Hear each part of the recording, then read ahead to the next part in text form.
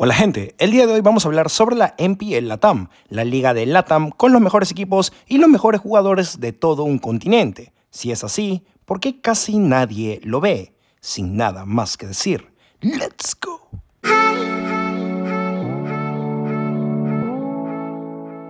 Hace unos años atrás, todo el mundo quería un competitivo en LATAM, ya sea un torneo, una liga grande, la cual haga que el competitivo en LATAM pueda resaltar. Jugadores tenemos, equipos tenemos, talento hay, apoyo hay. Entonces la pregunta del millón es ¿por qué casi nadie ve la NPL Latam? He visto al colombianito Pepinero tener 10 veces más espectadores en su directo que la misma NPL. ¿No me crees? ¿Todos están en el directo de Harley? Harley está en su directo.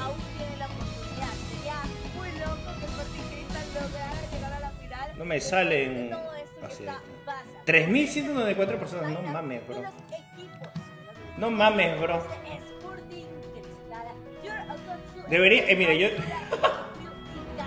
Yo creo que el, el, el canal oficial debería de pagarle a Harley Quinn para que no haga directos a esta hora. Esa fue mi humilde opinión. No te puedes quejar del colombianito Pepinero, ya que sus directos son entretenidos de ver, tiene su gracia, y a mi opinión, esa es una de las cosas que le falta a nuestra querida NPL Latam. Te voy a dar 3 segundos para que me contestes. ¿Qué es lo que te hace ver la NPL Latam en estos momentos? Exacto, absolutamente nada. Las personas que lo ven es porque les gusta el competitivo y te apuesto que esas personas no solo ven la MPL Latam, sino las MPL de otras regiones. El día de hoy no me voy a tirar un video hablando caca de la MPL Latam porque no creo que esa sea la manera de explicar las cosas, pero te voy a demostrar qué de diferente hay entre las ligas para que tú, mi pequeño saltamontes, puedas sacar tus propias conclusiones. Te recomiendo que no veas los comentarios hasta una vez acabado el video, ya que hay personas que comentan sin haber visto el video completo. Quiero que tengas criterio propio, pero sobre todo quiero que veas este video de una forma neutral, ya que así como yo puedo opinar una cosa, ustedes pueden opinar totalmente diferente. Vamos a comenzar por algo muy básico que te dará una mejor idea de a qué me quiero referir, dejando esto de lado. Vamos a hablar de algo muy simple como son los números. Hace casi tres años atrás, LATAM tuvo su primera participación en la M3, el cual fue representado por Malvinas Gaming. Nos terminaron cogiendo, pero al menos se podría decir que fue como una experiencia nueva, para ver en qué nivel estábamos y qué tan diferente era el nivel entre regiones. La realidad duele, pero fuimos entre los primeros en ser eliminados. Creo que por ser la primera vez había mucha gente que estaba pendiente a los torneos oficiales y las vistas eran bastantes. No tenía nada en comparación con lo que es ahora, pero pondremos la excusa que fue la primera vez y estábamos con todo el hype encima. Al siguiente año fuimos a la M4. Esta vez fue Malvinas Gaming y S11 Gaming de Argentina. Acá es donde sale la famosa frase, el que no conoce su pasado está condenado a repetirla. Los dos equipos fueron eliminados tempranos en el torneo, pero el hype que había en los directos era muy similar a lo que fue la M3.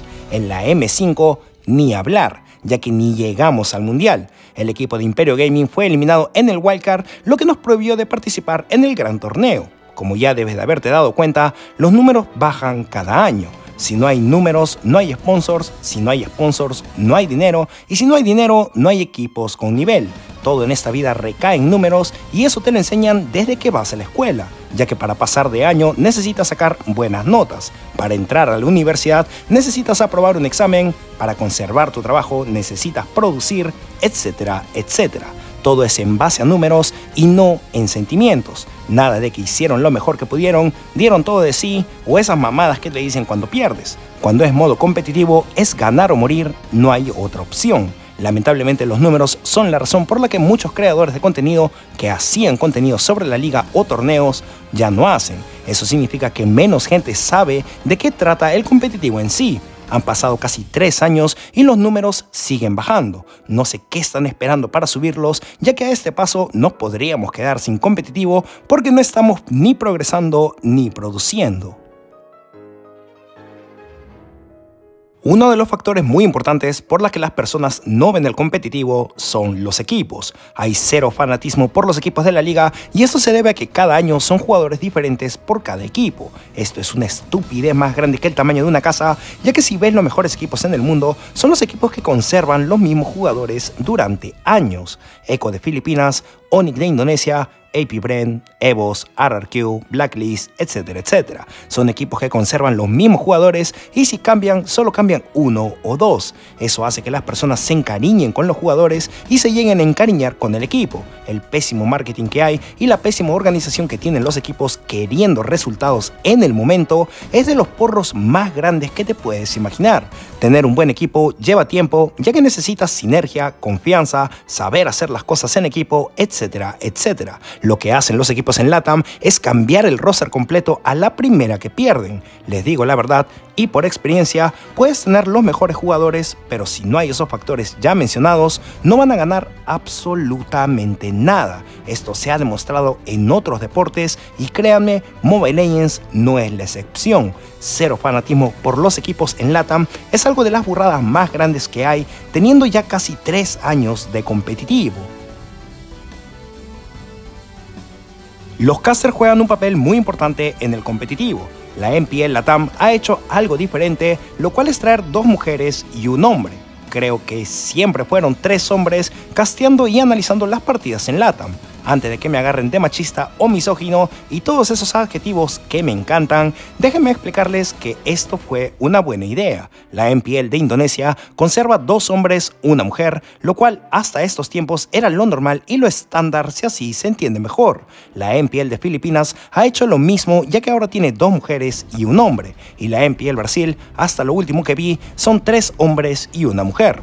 Ahora, si te has dejado llevar por lo de hombres y mujeres y estás pensando que voy a decir que las mujeres no saben castear, pues no me conoces. Cuando hablo de los casters, me refiero a que siempre son diferentes en cada torneo, mientras que en otras regiones siempre son los mismos. Por cada MPL son de 3 a 4 que castean y analizan las partidas y siempre son los mismos. Lo que en LATAM son Lucky, Mapa, Michi, Milita, Gus, Leandruki, Cast, Fletcher, Dead, meto dos más y hago un equipo de fútbol. No mames, es obvio que la gente no va a ir a ver ya que tienen sus favoritos. Traten de contratar de 3 a 4 que analicen bien, casteen bien y que sean entretenidos, ya que déjense de huevadas, las partidas de Brasil que no son RRQ Akira son más soporíferas que ver el pasto crecer.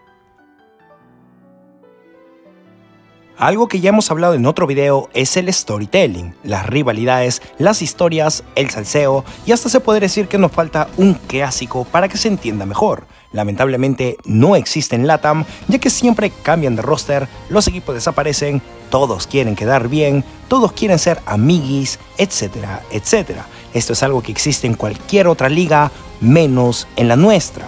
Algunas personas pueden tener una opinión diferente y es totalmente comprendible pero no me puedes negar que nos falta un clásico, un Boca Rivers en Argentina, un Colo Colo Universidad de Chile en Chile, un Universitario Alianza en Perú, un Monterrey Tigres en México, un América Nacional en Colombia, etcétera, etcétera. Nos falta esa motivación para darle aliento a nuestro equipo y definitivamente nos falta un villano en la liga. Las entrevistas que hacen a los jugadores son más aburridos que un enano en un concierto. Traten de crear rivalidades y verás que ese directo se llena como no tienes idea.